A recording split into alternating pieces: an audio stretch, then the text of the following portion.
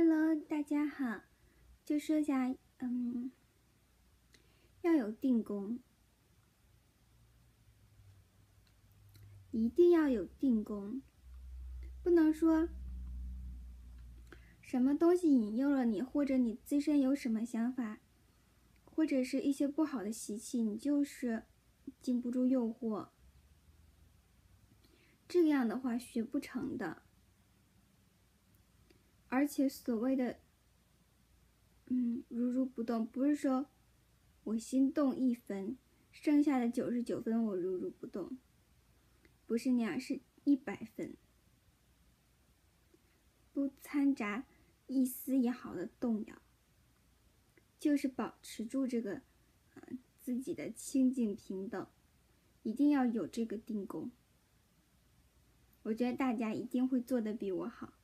加油！